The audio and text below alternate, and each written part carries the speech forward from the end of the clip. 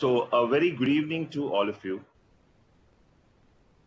I welcome you all on behalf of GE Healthcare and Nepal Pediatric Society to webinar on HFO ventilation and closed loop O2 system. Our distinguished guests and speakers for today are Dr. Sanjay Wazir and Dr. Ramakrishnan. So to start with, I'll just give an introduction of Dr. Sanjay Wazir. So Dr. Sanjay Wazir is a DM in neonatology. He's a director of NICU at Cloud9 Care Gurgaon. He has in his name 27 publications in various journals and books. He is an ex-president of IAP Neonatology chapter. He's a former president of IAP Gurgaon. He's a former president of Haryana NNF. His areas of interest includes ventilation, nutrition, and ICP care. About uh, Dr. Ramakrishnan, Dr. Ramakrishnan is working with SKS Hospital Postgraduate Medical Institute. He, he is pediatric and neonatology training and fellowship from UK. He is also in the pediatric cardiology fellowship, Evelina Children, London. Ex-consultant neonatologist at St. George's King's College, London. He has set up a level 3 NICU human milk ba uh, bank at Women's Center, Coimbatore. He also has done research on and publications on NT-Pro and BNP and PDA. His special interests includes functional echocardiography, non-invasive cardiac monitoring, neonatal nutrition, neonatal database, paperless NICU, and various others. He is masters on big data and artificial intelligence in neonatal medicine. So to start with the proceedings, I would like to welcome Dr. Sanjay Wazir, to take a session on HFO ventilation. Dr. Sanjeevaji. So thank you, everyone. And uh, it is uh, good and nice to be back in touch with the colleagues in Nepal. I was recently, I think, few six months back in Kathmandu for some other session on uh, nutrition. So, I mean, I would have loved to be there again at this time and maybe holiday around but because of the corona, probably we are finding newer ways to communicate uh, while being at our home. So I was uh, given the opportunity to talk to you about the high frequency ventilation in newborns, and uh, GE people said that we are probably the first uh, ventilator, the SLE, uh, which I've been using for last 10 years.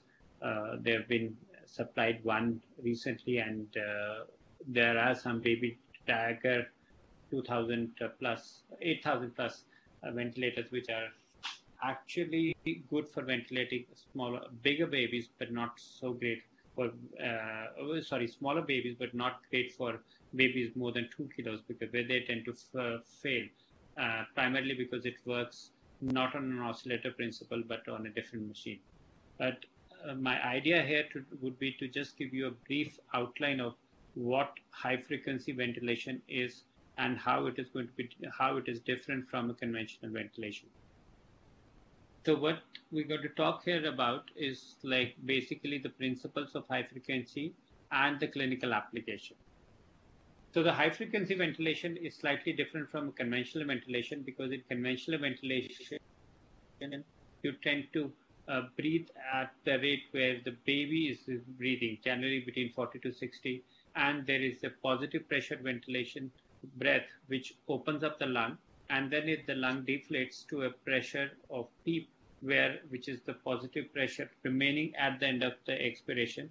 And throughout the expiration that is the pressure which is maintained till you the ventilator gives another breath which may or may not synchronize with the ba- baby depending upon what setting or what mode you're using.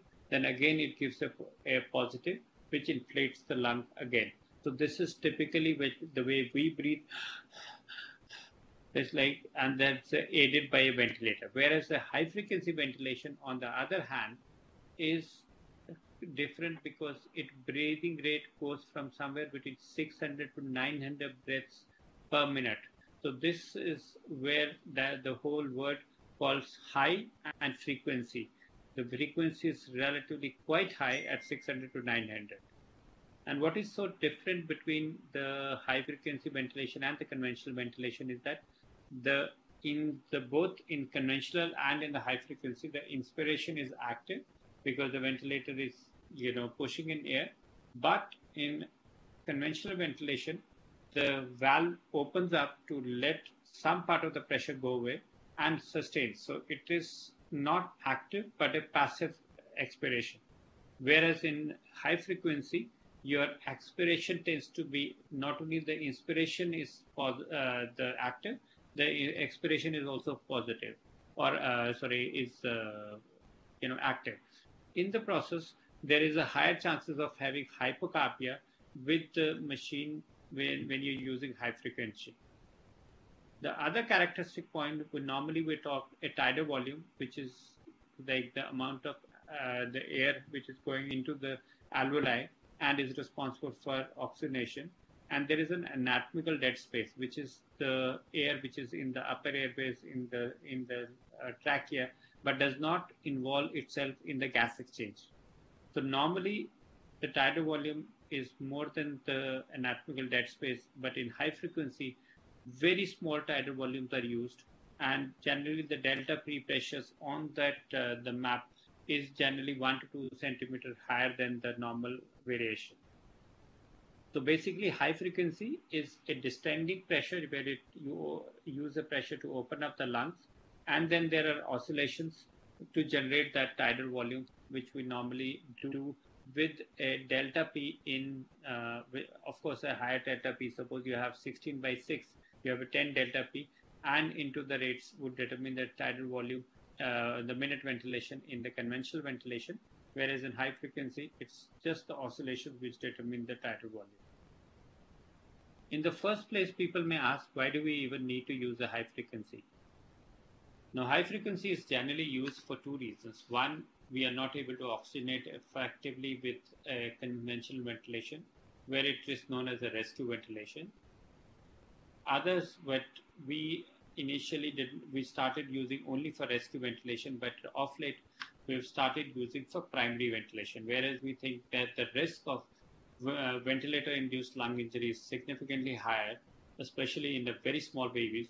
In those babies, we tend to use elective high frequency to reduce the risk of high uh, ventilation-induced lung injury. And uh, one may wonder because normally when you hear we use a PEEP of around or a map of 16, 15, 18 on high frequency ventilation, whereas when you use a PEEP of 8 also on conventional ventilator, you tend to get relatively worried.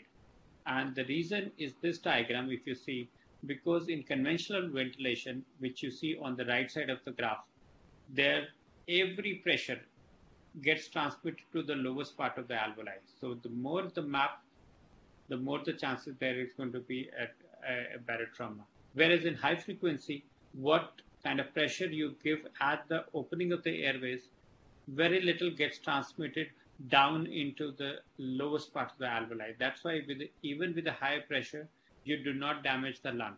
So again, the principle you would use in using when you're using, you can use go up on the on the map, unlike the worry you have on the conventional ventilation. But always remember there is a compliance issue, so you should use a uh, tubing which is very thick and rigid.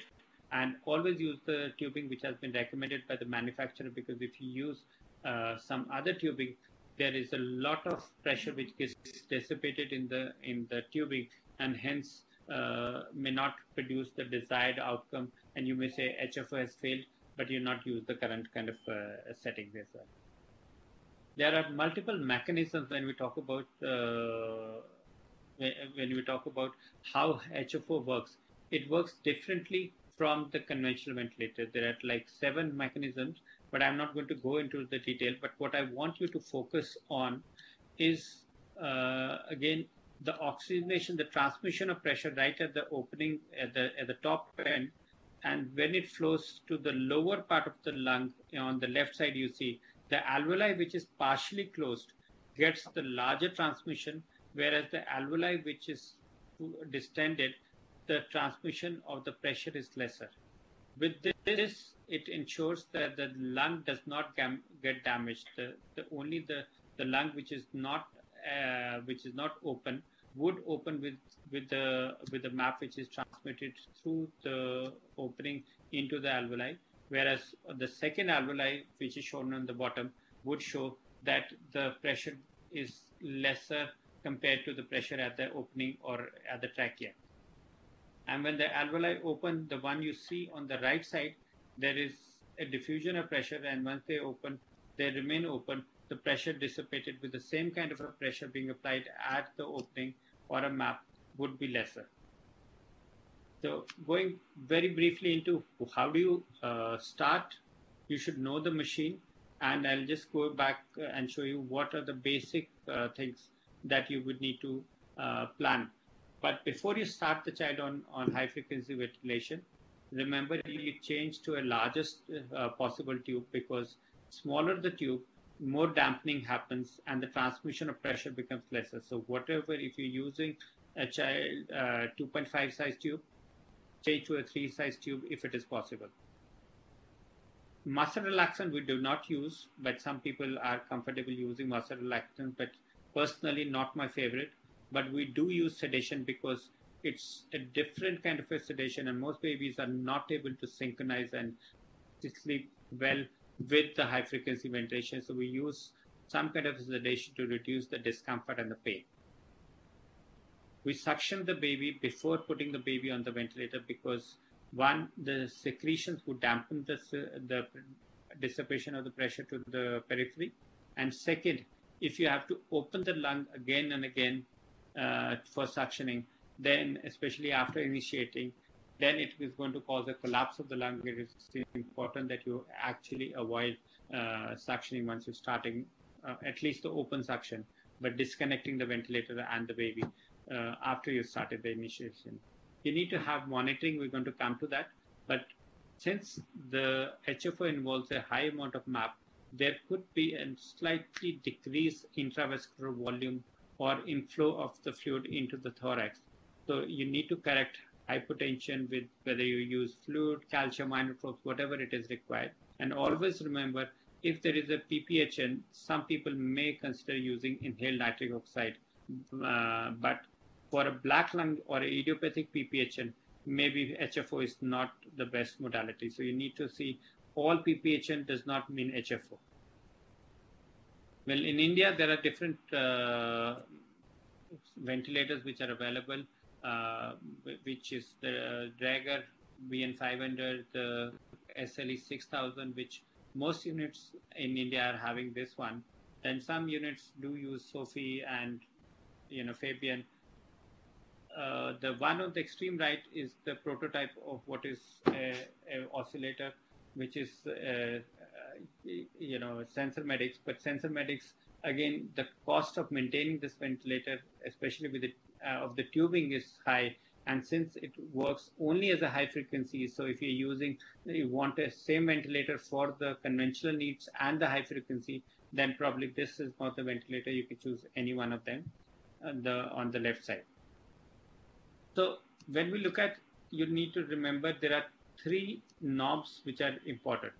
Uh, one, you, you see the, the, the amplitude, the mean airway pressure, and the frequency. There is this 33 written, this is an IE ratio. This I'm talking of Sensormedics, but it works, the variations are more or less the similar on different, uh, you know, parameters. So, so mean airway pressure, which is set here on the right, on the left side, would determine the oxygenation. The amplitude would be determining the CO2 elimination. The frequency and the I ratio, which are interdependent, would like not which play a little bit role in CO2 elimination, but this is more to do with the disease process rather than with the CO2 elimination. And the bias flow in this condition, you can alter the map either with changing the flow or you can set it directly on, on some of the ventilators like SLE 6000 without the need for changing the flow. So as I said, there are two way, two reasons why we uh, ventilate. One, we ventilate for improving the oxygenation, and the simplest way is to increase the MAP. And to eliminate the CO2, you need to to change the amplitude, increase the amplitude. But always remember uh, it is not the only determinant. So oxygenation, the MAP, increase in MAP would only help once the lung is recruited enough. Once the lung is open enough, then the oxygen, oxygenation would improve. So if you use a very low MAP, then and the lung is not recruited, you may, may say the CO2, the, the lung has not inflated, the, the HFO has failed. But optimize recruitment. On the other hand, remember the amplitude is the driving force, but there are other factors which are machine controlled, like frequency and I ratio. There is a disease process, which is the baby driven, and the volume guarantee, which is the operator driven. But uh, the SLE 6000 is the one which has a volume guarantee along with HFO. The earlier versions like SLE 5000 or 2000 plus did not have this feature. And the volume guarantee helped to reduce the incidence of excess CO2 washout or hypocarbia, which is responsible for a periventricular leukomalacia or the brain injury. Now, how to set up the map? So there are two ways to set the map. And as I said, map determines the oxygenation. So you set a high volume strategy or low volume strategy. So you use a map one to two centimeter above the map on the conventional ventilator or you use 1 to 2 centimeters. So you would determine the child is on a map of say 12 on the conventional ventilator. You would want to start at like 13 or 14. So a high volume strategy uh, is, is gone reverse, I think. You know, high volume strategy that a higher map than the conventional ventilator would be required in conditions with a homogeneous lung disease, like a hyaline membrane disease or Uh, chemical or infective pneumonitis, like a secondary surfactant deficiency in meconium aspiration syndrome. Whereas some people use a low volume strategy for air leaks or PPH, and especially the black lung, where the lung parenchyma is not involved, the vasculature is involved in the etiopathogenesis of PPHN pulmonary hyperplasia because using a high volume strategy sometimes can lead to pneumothorax and meconium with a predominant gas trapping. Some people use low volume strategy, although conventionally I'm more happy with uh, using a high, a high volume strategy. That means recruiting the lung in, in those cases. Other cases can be managed both ways, both on high frequency and on conventional ventilation. So when we say open lung strategy, again, know, I'm just going to give you only the brief of what is it is there there because we'll take another session on a detail once we have a basics a little clear.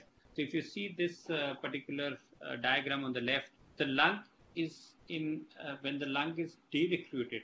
So you need a lot of pressure. So if you uh, look at a balloon and balloon, you need a very a huge pressure initially to put in to blow the balloon, and it opens after a while once it's open, you keep on putting more air into that balloon, it distends and goes into a zone of over distension where putting extra amount of air with your lung also does not either burst the balloon or there is very little air you can push because the amount of pressure required is just too huge.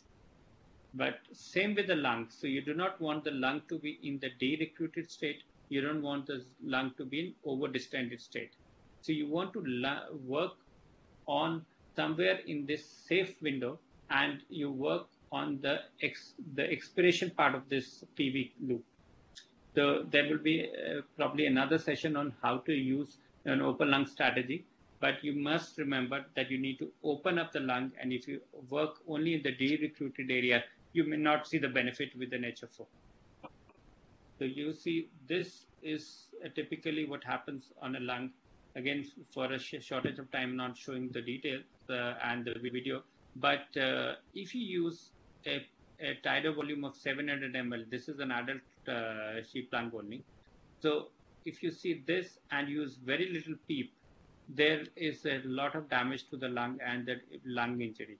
Whereas if you keep the lung open with a little bit of a PEEP is high and then with a smaller tidal volume also you're able to give adequate ventilation and keep the lung healthy without the injury so the message what i'm trying to put across is that you would need to open up the lung rather than just you working with other parameters, whether it is conventional, whether it is uh, high frequency. For those who are practicing in neonatology, they would have heard about uh, intubation, uh, surfactant, and extubate, the INSURE technique.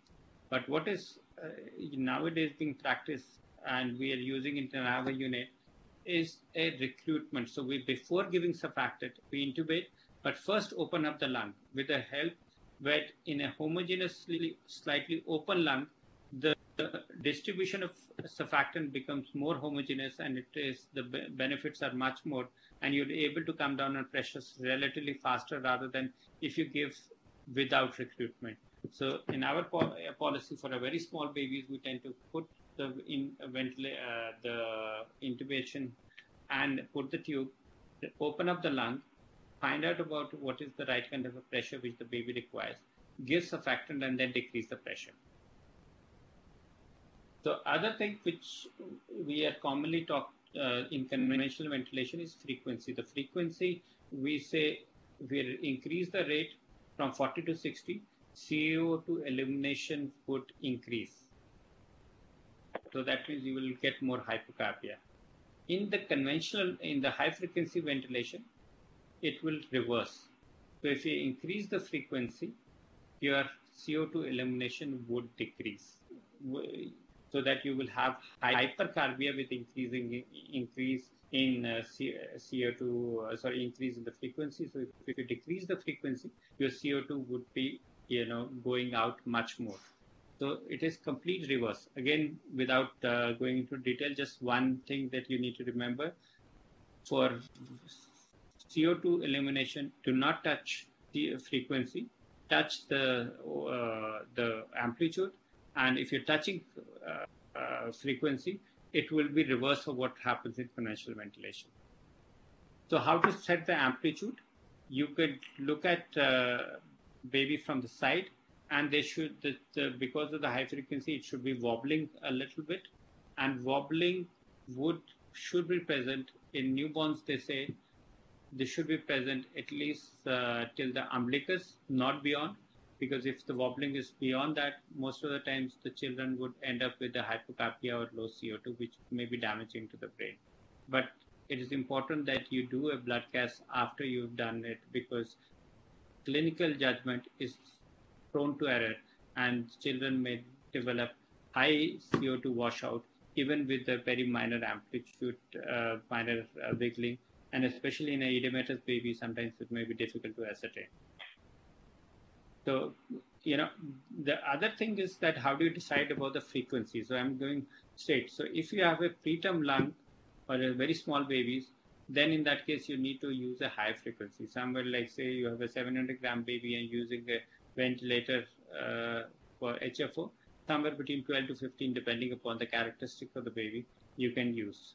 But if you have a term baby, like you would probably be more than happy to keep. If I have to give you one number, just keep 12 or 13 for the preterm RDS, 10 for a term uh, lung disease.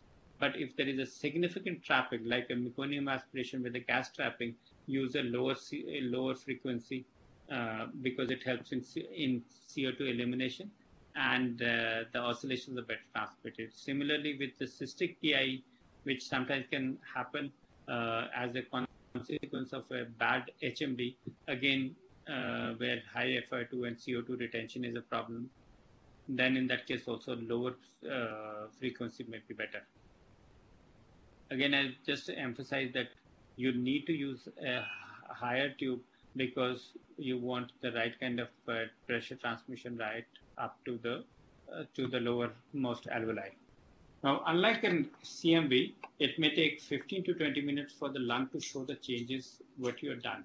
So do not make the changes very rapidly. So wait for 15, 20 minutes, half an hour before you change over to the next because, the, as I said, little pressure goes into the periphery and to achieve a new equilibrium, it may take some time. When you're weaning the baby from high frequency, just remember reduce oxygen first, map later. Ideally, keep the frequency same because the dynamics of the lung disease would not change unless you have a different pathophysiology coming in the same disease. Some people switch over to CMV you could directly do it. But if you're comfortable, and especially those who are new to uh, high frequency, may switch over to CMV as soon as possible and continue rest of the ventilation on uh, on CMV. And uh, we tend to do is like you know directly when the baby is who's less than thousand grams, map of 8 NFI to 25 percent, we can directly uh, extubate from high frequency into the nasal CPAP or nasal NIMV, whatever is the preference of the consultant there. When you're monitoring, you may use you may have to have a frequent X-ray, maybe six to 12 hours initially, but then once the baby is settled, the disease process settled, you could probably wait and get it done um, based on the clinical judgment. You might use uh, need to use an ABG very frequently because of the fact that the CO2 changes happen very uh, rapidly, and especially if the disease process is evolving rapidly, you may need that. Some people use transcutaneous measurement uh, for O2 and CO2, but we don't have the facility. But always, if you possible, put an invasive blood pressure line and always monitor the urine output because when you increase the map, sometimes the intrathoracic pressure goes low and the child may have a drop in uh, blood pressure, hypotension, and consequently low uh, CO2, uh, low oxygen delivery to the tissue. So you may see the HFO is not working because the blood pressure is not maintained properly. So in the last, I want you to remember two or three points where you not to consider high frequency ventilation. Number one, if there is a hypertension, first correct hypertension rather than like, you know, starting with the high, you know, high frequency because the child is not going to improve. Black lung PPHN, which means the X-ray, there are children who have a pulmonary hypertension. You get an X-ray, the X-ray is clear and black but still the oxygenation is not maintaining. And that is typically a maladaptation where giving higher MAP may actually cause the lung to expand further, further reduce the intrathoracic uh, inlet of, uh, of blood, and would result in worsening of PPHN rather than helping it. Severe obstructive airway disease may sometimes not work, although, as I said, if you lower the frequency, sometimes you can work on that. But certainly higher frequencies and higher maps may be counterproductive in these kind of conditions. And if you have a severely inhomogeneous uh, lung disease like meconium aspiration with uh, lung, air trapping, sometimes it may not work.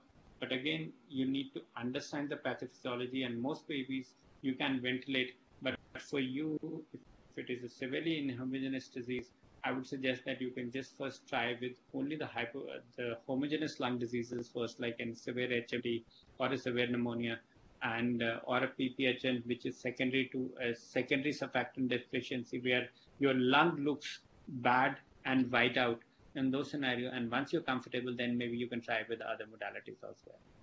So in summary, you need to first understand the machine. You need to understand the baby size and also the disease but it is important to recruit the lung and important to look at the knobs, map oxygenation, amplitude CO2, and frequency is important and follow that uh, table so that you can get the best results of, the HFO. Thank you so much. And I end my presentation here. And I'll leave it to Dr. Ramchandran to take it from here. Yeah, thank you, Dr. Wazir. Uh, well, it, it is an excellent explanation of HFO. Uh, we'll have the question and answer sessions after the uh, next session. In the meantime, I request all the audiences to please type in their questions so that we can have a uh, informative question and answer session post the uh, Dr. Ramakrishnan session is over. Over to Dr. Ramakrishnan. Thank you very much. Fantastic session, sir, Dr. Sanjay Wazir. It was very clear and crisp. Thank you. I hope I'll try to match uh, what you have done. Okay. So what, um, uh, before I start, can you all uh, see my screen? That is number one question. I need a feedback from uh, the organizers. Can you see the screen clearly? Yes. Yes, we can. And can you hear my voice clearly? Correct. Okay. Thank you. So first of all, I'd like to thank the GE team for providing me with this opportunity to speak in front of you. And I wish, you know, if this corona was not there, maybe this talk would uh, would have happened directly at Nepal. And uh, I have not visited Nepal, and uh, I would be very keen to visit in the near future if I am given an opportunity. So thank you all the Nepalese doctors for listening to my talk. Thank you. Thank you very much. I'll start now. So my topic is on CLAC. Some people call it as CLAC, some call it as CLACO. It doesn't matter. What is CLAC?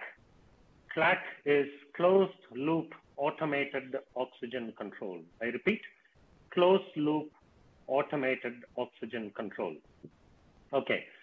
Now, why is this important? Why are we concentrating on this? Now, we all know oxygen is required for survival.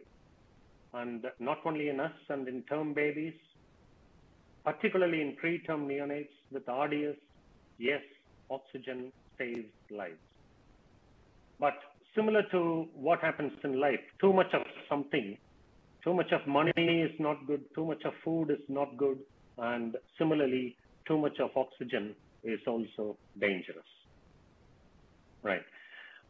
Now, you would have probably heard of lots and lots of studies, uh, you know, uh, just pro- prompting or promoting what should be the ideal oxygen saturation that we should aim in uh, preterm babies.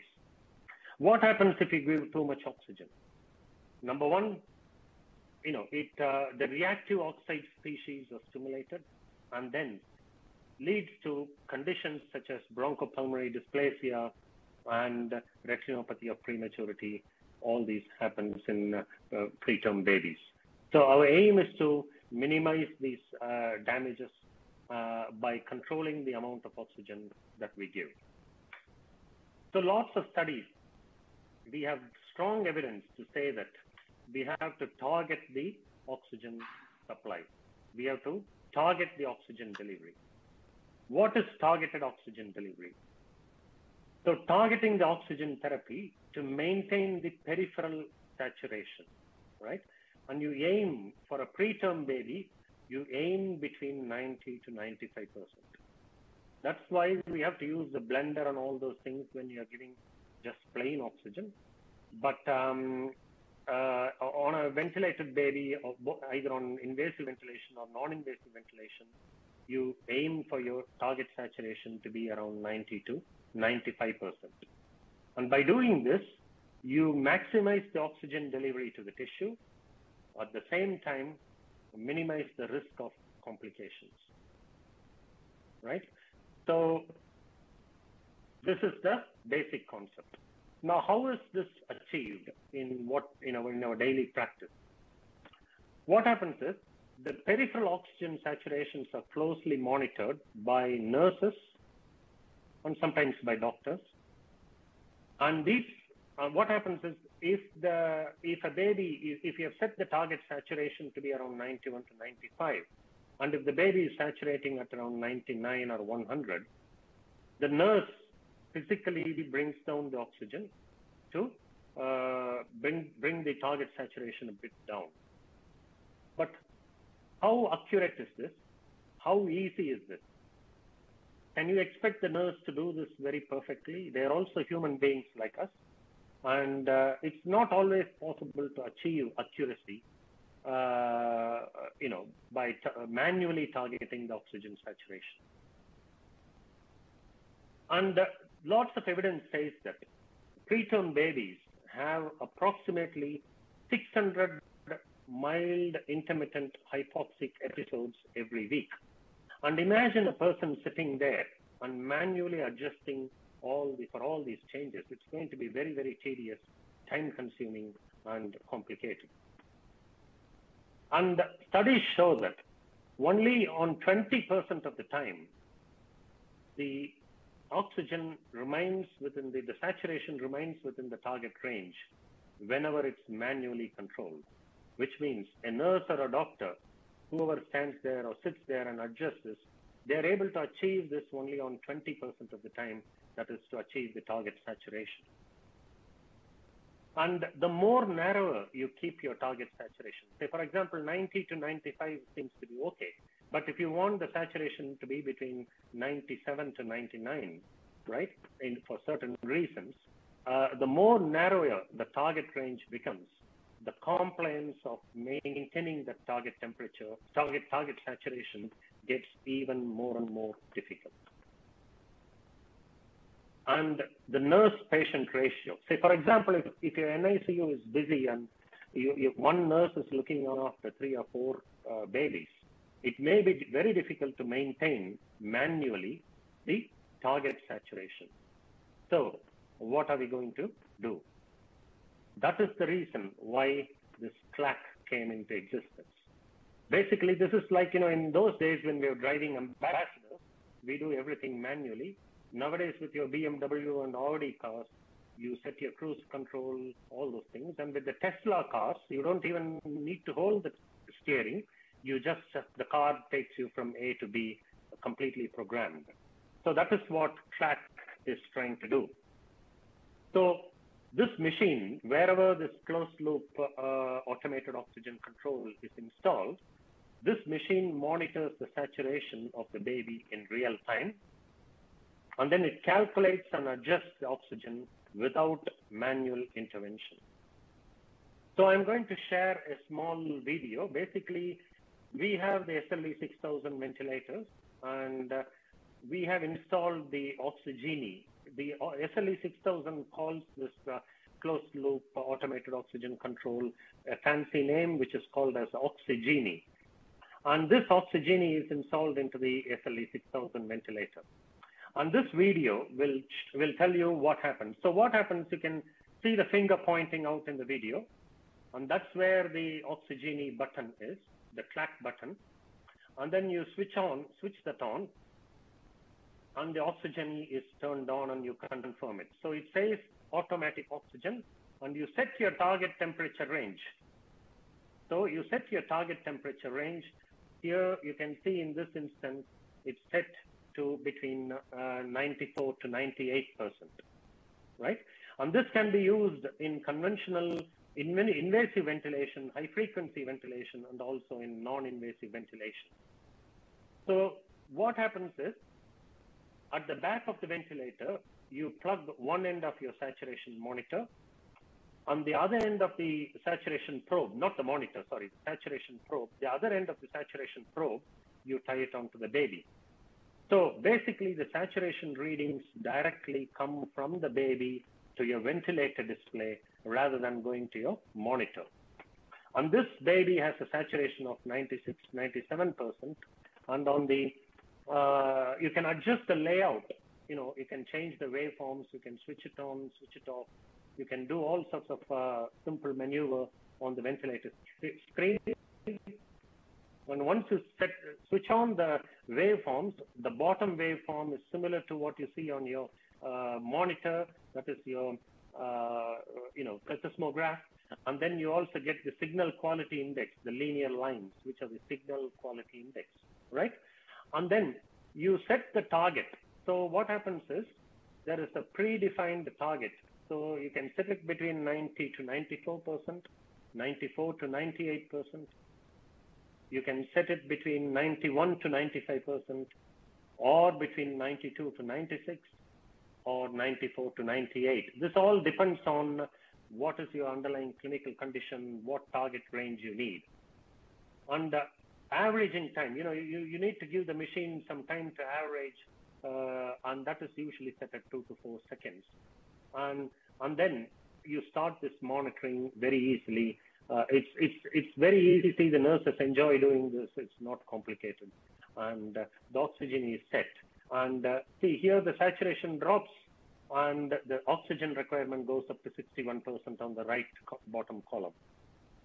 So this is the and you, you can change the screen. It can give you the trend for what is happening over the past two hours, uh, 120 minutes, 60 minutes. It gives you the target oxygen range and also the reference oxygen, oxygen uh, that's been given, right?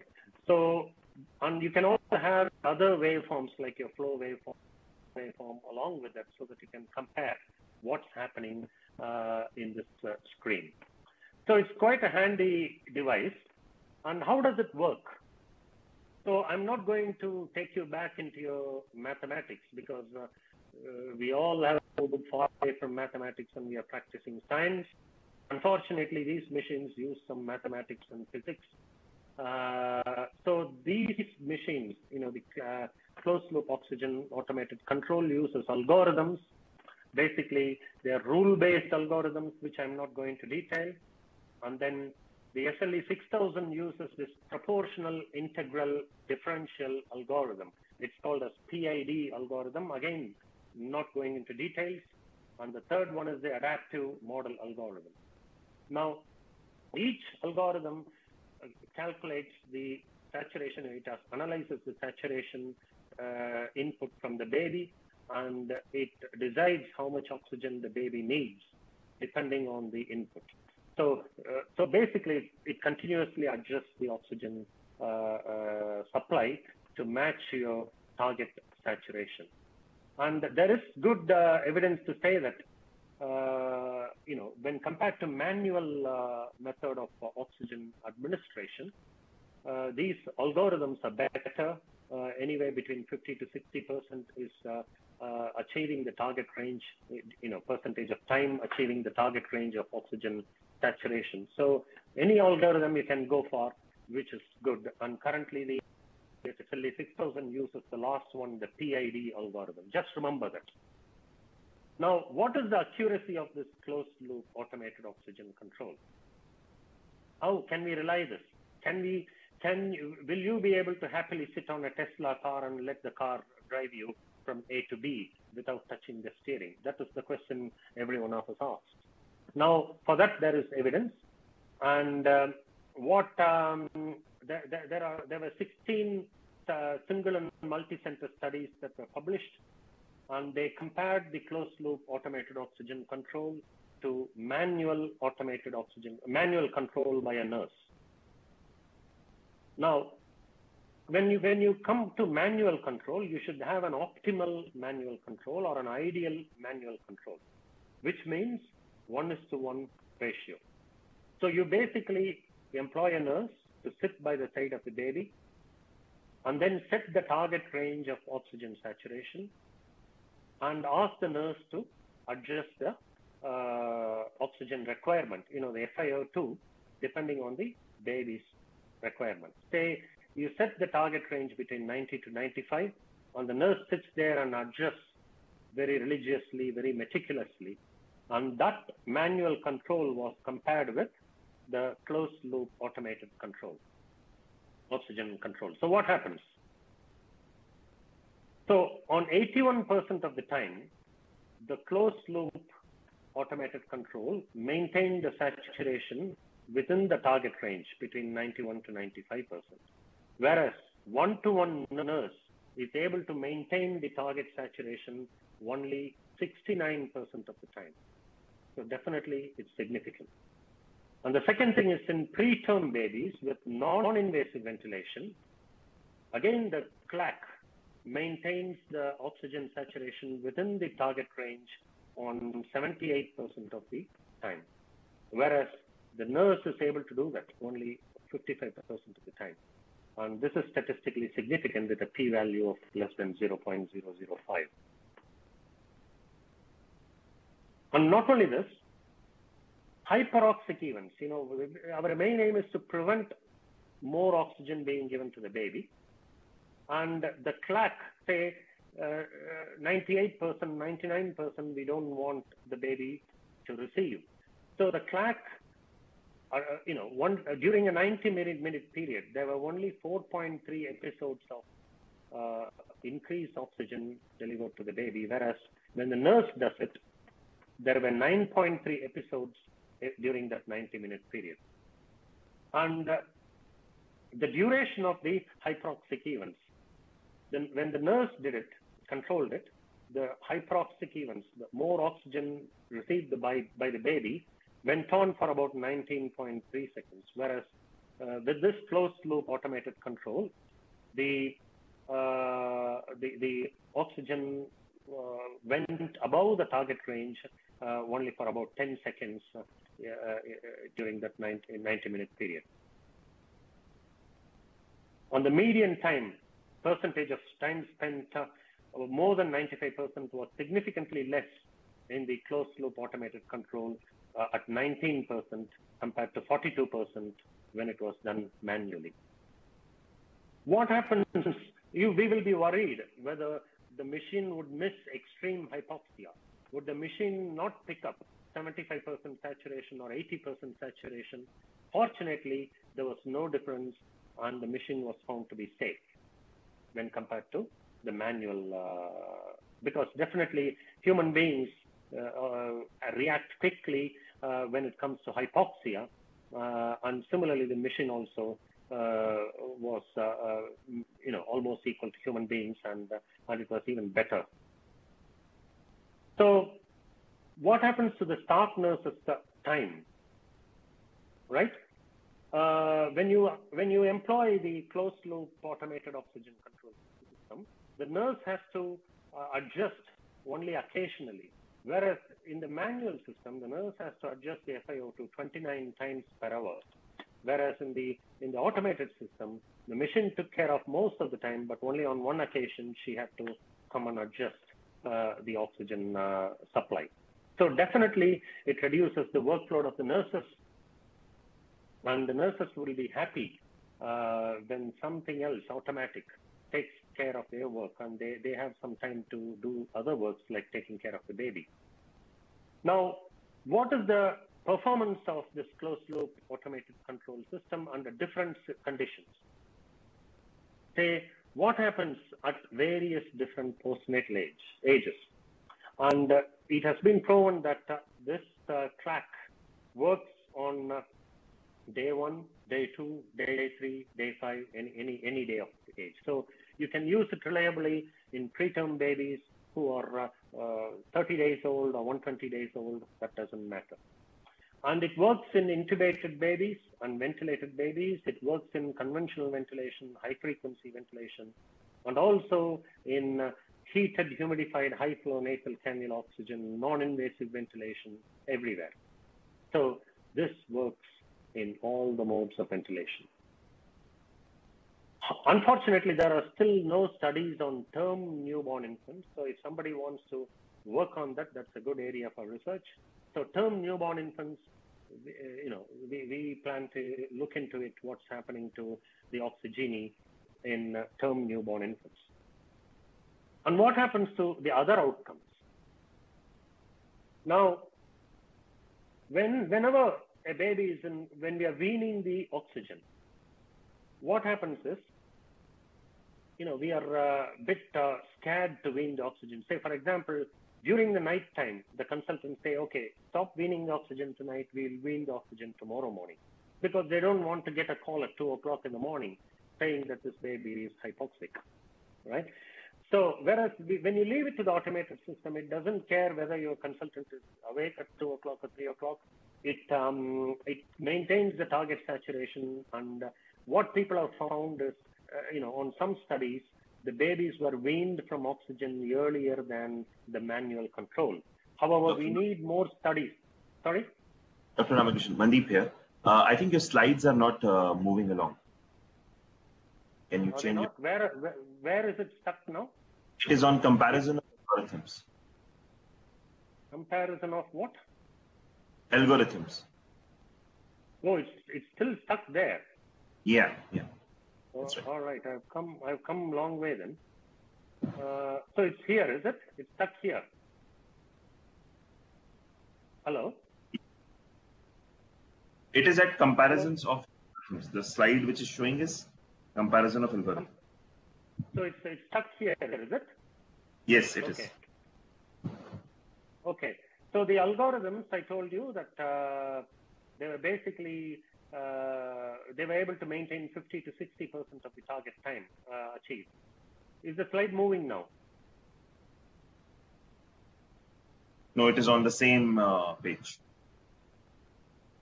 How come? Uh, because the internet signal is good.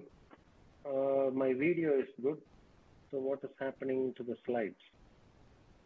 Uh, shall I pause, uh, stop the You can you can stop sharing once, and you can reshare your slide again, yeah, sure, I'll do that. Yeah. and then can you can move forward.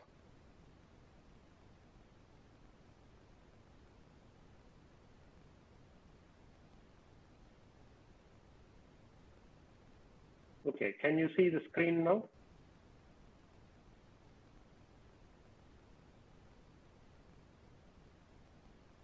Can you see the screen? No, I'm able to see you only. Uh, it says the screen is sharing. Uh, you are it says you are sharing the screen, and uh, so I'm not sure why you are why you are not able to see. Um,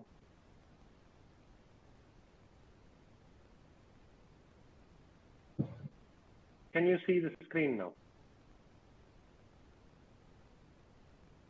No, actually, I'm only able to see your uh, you on the screen, not the presentation. Okay. So in that case, what I'll do, I'll if I can turn the. That doesn't work, right? No. Right. If you give me two minutes, what I'll do, I can send my presentation uh, on PowerPoint to you. Would you be able to load that? That's right. We can do that. Okay, one second. I will remove the video so that uh, the PowerPoint uh, loads easily.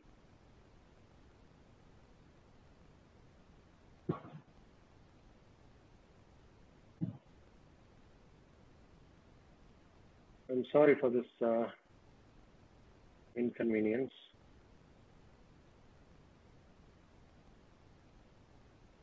Yeah, you you can uh, send the presentation to us. Meantime, I can uh, at least uh, take up the Maybe questions can- which have come.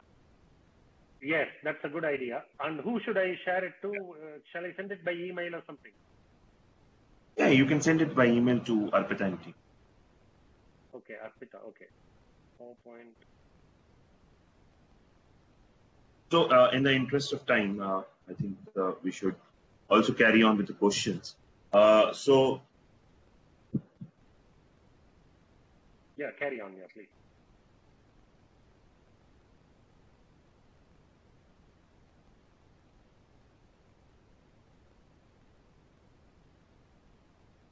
yeah, so in the interest of time, I will start with the first question. Uh, the first question for uh, Dr. Wazir is uh, Dr. Raidam Basnet from Kathmandu Medical College. Uh, he has asked first question: What should be the strategy of ventilation in PIE, pulmonary interstitial and emphysema? So this is the first question from him. So you would like to hear all the questions and then answer, or I should uh, stop after Yeah, the you, question? you can go ahead and, and ask all the questions, then probably, you know, without interruption, I can tell. Okay. What is the use of HFOV in prevention of BPD? This is the second question. Correct. You go on, uh, ask all the questions we can. Third question is, sir, can we use HFO, HFO philosophy, uh, uh, HFO philo, philoptically in uh, preterm even at a lower MAP? That is 8 to 9. Sorry, can I can I have the question again? I didn't get that one. Just a minute.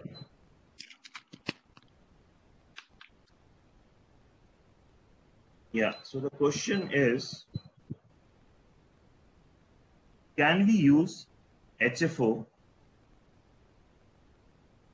that is P H O P H Y L A C T I C A L L Y, optically, in preterm even at lower MAP, that is 8 to 9? I think this must be meaning prophylactically. Yeah, prophylactically. It's I think the, Okay. the spelling is wrong, so it is prophylactically is coming. Okay. So these are the three questions. The one more question which I've got from Dr. Imran Mohammed, it is role of DC, DC O2. Okay. So uh, the first question about uh, you know should we use HFO in the prophylactic uh, prophylactically in smaller babies, and uh, yes, that's what I said. It's not a prophylactic use; it's an elective use in some babies that you tend to use uh, in a smaller babies, you can use,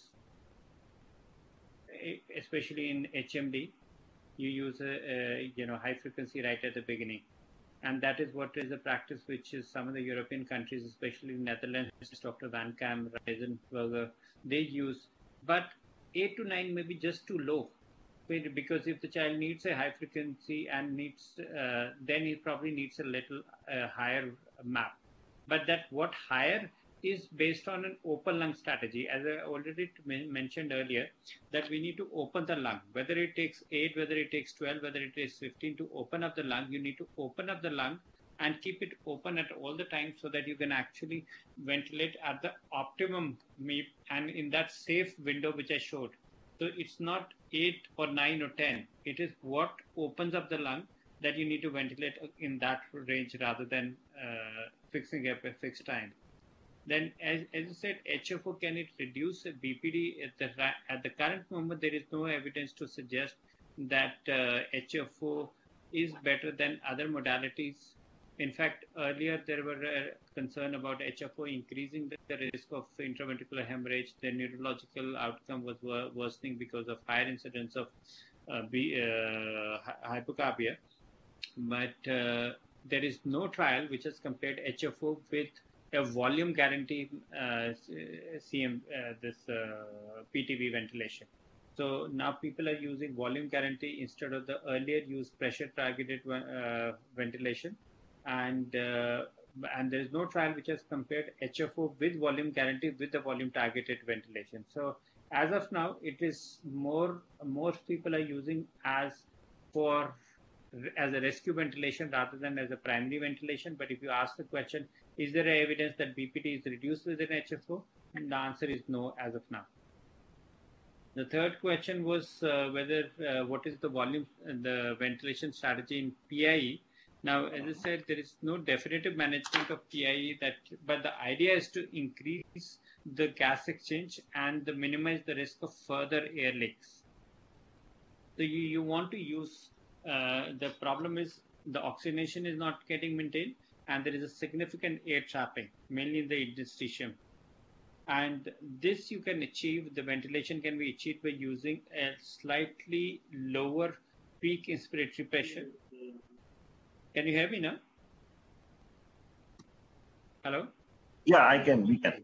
Yeah, so the idea is to reduce the mean, uh, the peak inspiratory pressure, reduce the PEEP also as, you know, and the TI.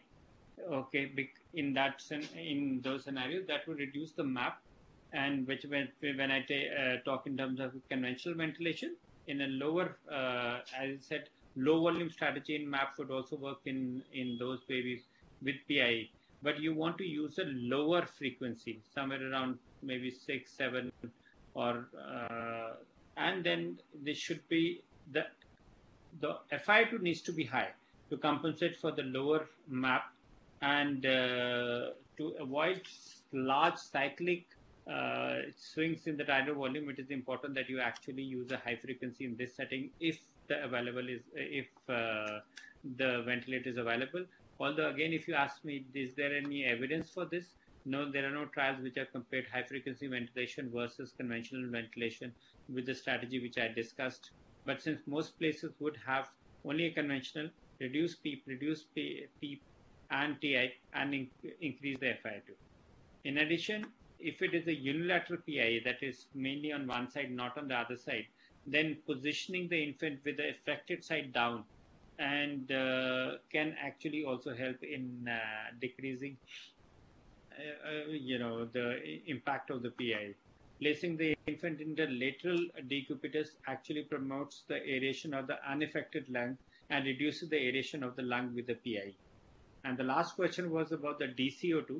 DCO2 is diffusion coefficient of uh, of uh, of uh, you know CO2, but this is not same as as a PCO2. This is a mathematical value, which is based on on a computation of, and it's a mathematical based on the on the value of the tidal volume which is there on the ventilator and the the frequency. So you, how you use it in clinical practice is that you, for example, you start a ventilation and you see a DCO2 value of say 100, you know, hypothetically, and uh, you find a CO2 of 40. Now DCO2 and PCO2 work in opposite direction. So if your DCO2 now increases, that means you're going into hypocarbia. It again there is no direct correlation, so it's not a linear correlation between DCO2 and PCO2.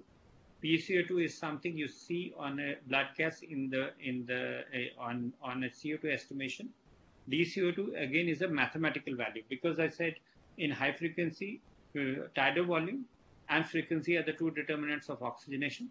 So if your DCO2 changes towards upside, then you probably are going CO2 is going lower, but you still need to confirm it with a blood gas uh, it gives you an idea that probably the lung disease is improving. You need to change your strategy. But beyond that, no direct correlation that value suggests any particular value of the PCO2.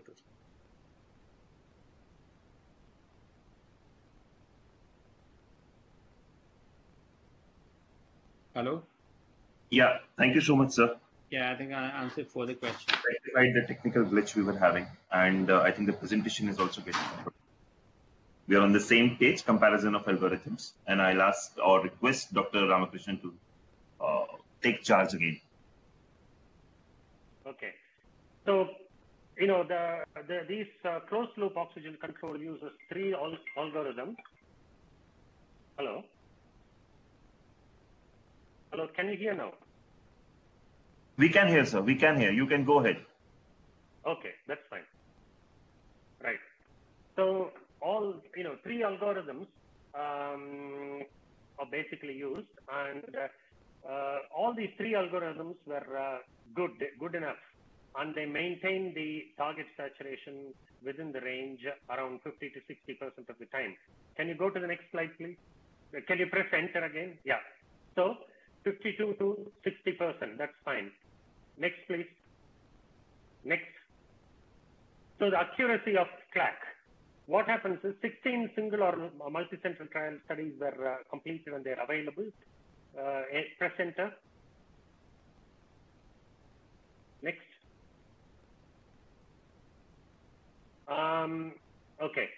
So what happens is when compared to the manual control, which was achieved by a nurse, you know, one is to one nurse, the CLAC maintained the saturation within the target range 81% of the time, whereas uh, with the best one is to one nurse control, the nurse was able to maintain the target saturation only 69% of the time. And similarly, in preterm non-invasive ventilation, 78% of the time, the CLAC was able to maintain the saturation within the target range, uh, whereas the the uh, the nurse was able to maintain uh, only around 55% of the time, and this was statistically significant. Next slide, please. Okay, and even the hyperoxic events were less in the uh, CLAC when compared to the manual. So 4.3 episodes per 90 minutes, whereas the uh, events were more with the manual 9.3 episodes uh, during that 90 minute period on the duration of the time the child spent uh, uh, receiving high oxygen or high saturation was 10 seconds, which is significantly less when compared to the manual uh, control of about 19 seconds. Um, and the median time spent on saturation more than 95% was significantly less with this automated system when compared to the uh, manual system. Unfortunately, even the extreme events like hypoxia, because we as neonatologists, we would be worried more about uh, hypoxia. And uh, both uh, the nurses and the automated system did not allow significant hypoxia below 75 or 80 to uh, develop during that 90 minute period. Next slide, please. So not only this, the, they also found out that the nurse had to adjust the saturation, the FiO2, only once per hour during that uh, period. Whereas with manual control, the nurse has had to adjust the uh, FiO2 29 times per hour, which is quite significant. Next slide, please. What is the use of the CLAC under what does how does CLAC perform under different uh, conditions? And uh, CLAC works fantastic in at different postnatal ages. So you can use it on day one, day three, day five, or day 80. So a preterm baby, you can use it on day 30 or day 60. It doesn't matter. It works well on intubated and ventilated babies, both on conventional and high frequency ventilation. You can use it. It works on non-invasive ventilation. Also, it works uh, however, no studies were done on term babies. So if somebody is interested in doing some research uh, with Oxygenie, term babies you can focus on. Um, next slide, please. On the other outcomes, what happens? See, when, when physicians uh, try to wean oxygen, they don't, uh, they're not bold enough to wean oxygen during the night time because the consultants don't want to be disturbed during the night. Whereas the machine doesn't know that. And uh, the, they found out that uh, some studies uh, showed that uh, by using closed loop automated oxygen system, the babies were weaned faster and they were able to come out of oxygen faster. And there were also no adverse uh, effects reported uh, using the closed loop oxygen system. next, please. And even if sometimes the, sometimes what happens is if the signal quality is poor and if the automated system doesn't increase oxygen quickly, there is an option to override that and you can manually increase it if you're worried about your baby. So still manual override uh, exists. And there is currently a large multi-center trial. Currently, no one has looked at uh, the effect of the, the, the effect of uh, uh, tightly maintaining the oxygen saturation and long-term outcomes with the help of a uh, closed-loop automated uh, oxygen system. So there is a large multi-center trial that is ongoing now, and you will be getting the results in 2022. Next slide, please. So the take-home message is CLAC increases the percentage of time saturations are uh, maintained within the target range. Next reduces the number of manual modifications. Next. However, when the babies move, it disrupts the signal, and uh, there has been theoretical concerns that there may be a delay in the response to hypoxemia. And uh, the other danger is sometimes, you know, preterm babies, you know, when you're doing the ward rounds, the nurses will say that the babies are having more desaturation than yesterday. So you assess that this baby is thicker when compared to yesterday. But with this closed loop system, there is a danger that this machine automatically keeps adjusting the oxygen and you may not be able to identify true desaturations. But in those situations, you have to just overall assess the trend and see how much, how low the oxygen saturation has gone. So which will give you a clue.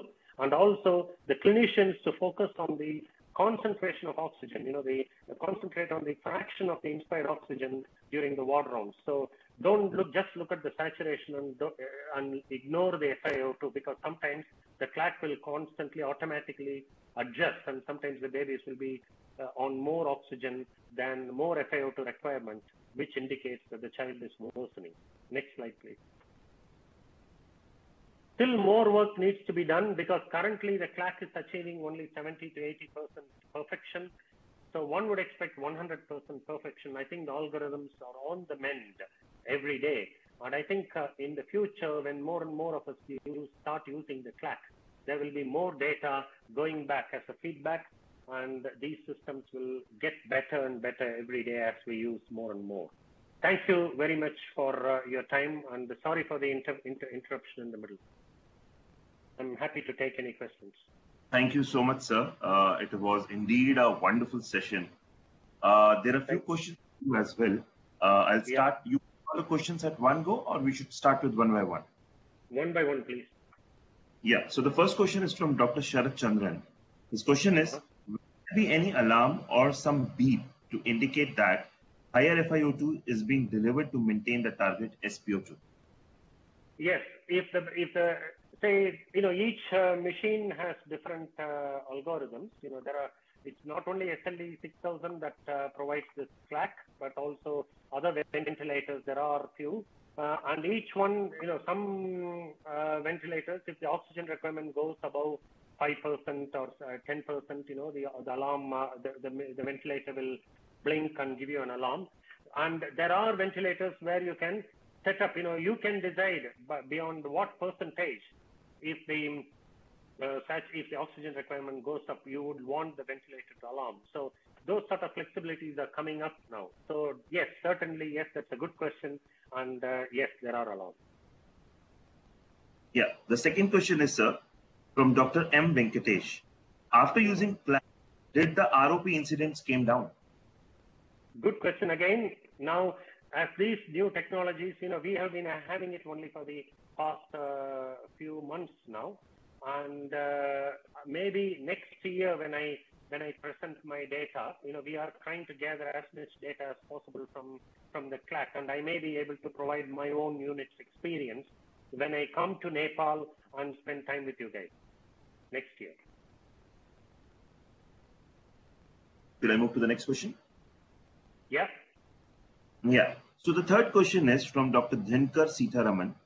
Can we use oxygen in all the neonates or do we have any disease or pathological condition contraindicated? Now, uh, as I told you, there are not many studies uh, outside the preterm range, uh, you know, using Oxygenie uh, outside the preterm uh, gestation. But um, you know, I am planning to do a study on uh, term babies with meconium aspiration, and I am planning to keep the saturation uh, target, say, around uh, mm, 97 to 100 or 96 to 100. And uh, again, I may be able to publish uh, our data to see whether there is any problem with this next year, next, in, in the next one or two years. That's number one.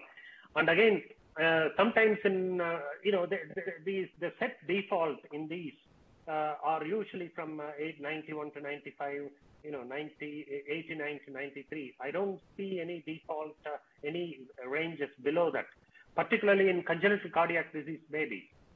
If you want, if you don't want the saturation to be above 90%, if you're happy for the saturation to be 80 to 85% in babies like, uh, uh, you know, mixed cyanotic heart disease, uh, in those situations, this CLAC cannot be used at the moment because uh, uh, there is no uh, range that has been programmed into this. But I think future studies will definitely guide us more on on that area. So thank you. That's a good question as well. Next question, please. Yeah. Yeah. Yeah. So the next question is from Dr. Imran Muhammad. Whether CLAC also detects movements of artifacts adjusts FiO2 accordingly? Yes. Again, these clever algorithms, again, that's a good question. These clever algorithms, um, they look at the movement artifacts, they look at the signal quality index and also the plethysmography. And then if the plethysmography or the signal quality index is not good, or if the uh, movement artifacts are too much, it continues to give same oxygen, uh, FiO2, that the baby has required on average over the past 90 minutes or 120 minutes. Say, for example, if the baby had required 60% in the past um, 90 minutes, and only in the last 10, 15 minutes, the baby's oxygen requirement had come down to 50%.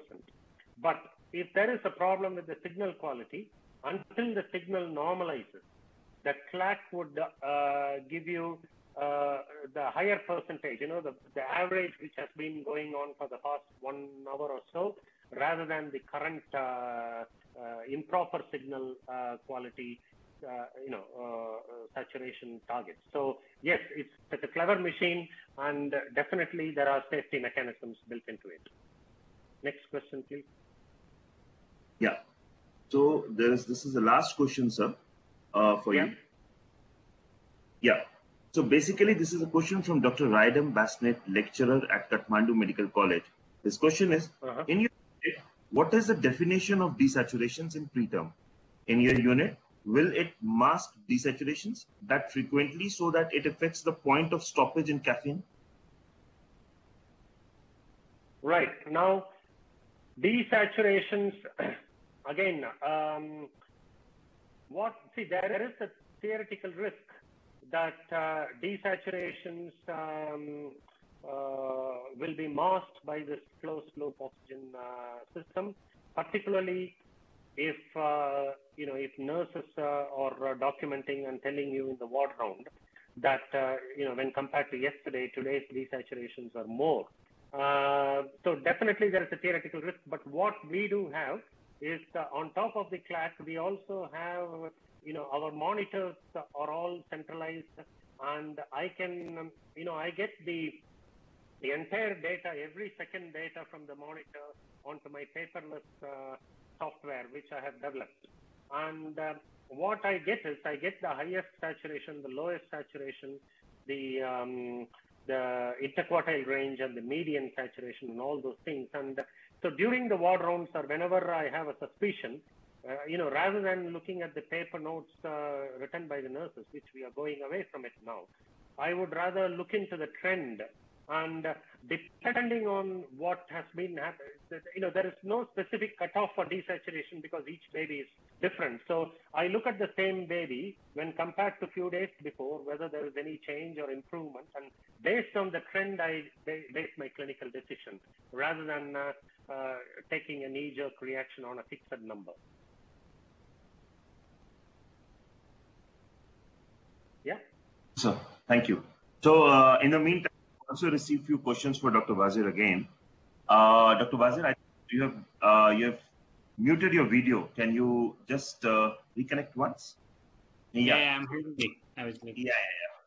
So basically, sir, uh, there is a question: What are the clinical conditions for deciding HFO?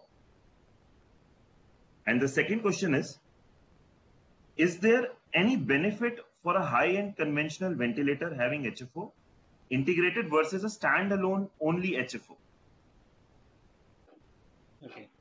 Uh, so one, the first question is that uh, what are the clinical conditions where you would probably consider using HFO? And I mentioned in my talk. So we generally use where we fail conventional ventilation. And that is the most common reason for people to move from conventional ventilation because it's not working and they need to use some alternate way of uh, you know ventilating the child and getting the oxygen in. And most common is a severe HMD, for example, the severe meconium aspiration with a secondary surfactant deficiency, or a severe pneumonia, and sometimes a PPH secondary to a parenchymal lung disease. Air leaks is one other condition where probably you know using conventional ventilation may uh, not be as useful and sometimes the air trapping is significant and you CO2 retention is significant on conventional ventilation and then you use. So basically one uses as a rescue ventilation where you are not getting optimum oxygenation. And the other uses in elective, very small babies you use as an elective ventilation, which some people use. We also use in very small babies. But at the same time, I would suggest that for the beginners, is restricted to use in conventional ventilation failure cases only. Second is that you said whether you want to use an HFO alone, and that is the Sensormedics that you need to see. One of the most powerful ventilator oscillators, which can be used in you know babies from 500 grams to bigger babies also. Uh, versus you use a ventilator which is a combined mix. Now since you have a tendency for people to use non-invasive ventilation very commonly, and most babies in an era of of conventional ventilation, uh, in the era of antenatal steroids and uh, surfactant, you know, can move on to non-invasive ventilation very fast. So I would probably prefer, in my preference, would to have a ventilator. You have all the modes where you do not have to use the ventilator circuit. You don't have to move the baby from one ventilator to the other. In that scenario my preference would be a ventilator where all modes are available from invasive non as or uh, high frequency conventional and non-invasive. Whereas some people who are old school still want to practice conventional ventilator with Sensormedics, and they're happy with the results yes, that's an option, but it's an expensive proposition, and uh, you tend to you know change baby from one ventilator to other, which could be traumatizing in very small babies. Thank you, sir. Uh, so I have received one more question.